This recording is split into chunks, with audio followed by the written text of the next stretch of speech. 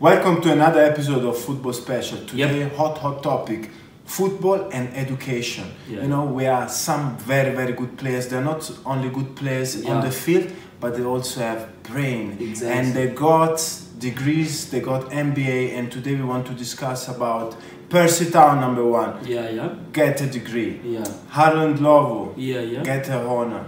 Number three, Giorgio Chiellini, MBA. Stay tuned. guys. Yeah. Remember, life is short, but the football career can be even shorter. So study hard. Correct. A hundred percent, guys. It's a very interesting topic. Absolutely. Well, it always brings joy to the fans' faces when you talk about something like Yeah. this. You know, it's not only these guys that are skillful on the pitch as well, but also in the brain as well, in the classes with the pen, guys. So, congratulations, you know, special congratulations from myself, Stu. And Aris. Yeah, special congratulations, guys. Percy, Harold, you know, and uh, you know, Chiellini has had it for a long time. Yeah, Yeah. Giorgio. So we just want to mention these guys, you know, today. We just want to celebrate them. Absolutely, you know, you guys. know. It's a very, it's a, it's an honor, you know, and uh, for, for for them to achieve such such a mile, you know, it's not easy. Football, especially professional football and studying. Yeah, and also give you an, an opportunity to understand the mindset of these players that Yeah.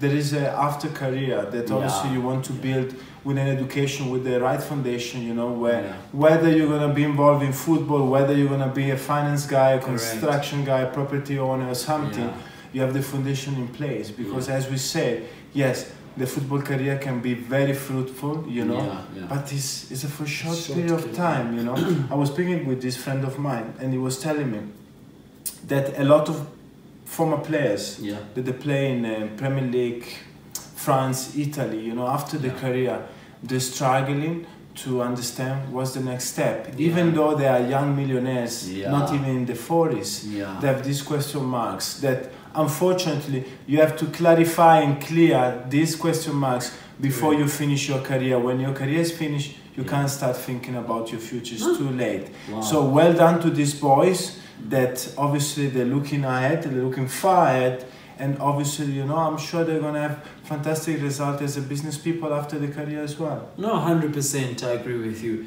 I mean, it's a perfect, it's a perfect, perfect. It's a clever thing to do, actually.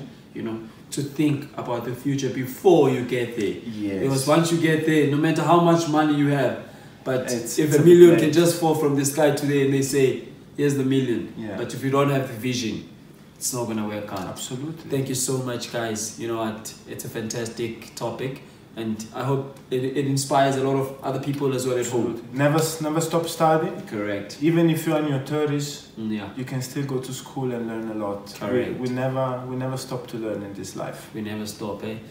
The Sangoma said it. i'm feeling very wise today Thank you so much, guys. You know, uh, don't forget to comment as well, like, share our content. Thank you, guys. We'll see you next time. Sure.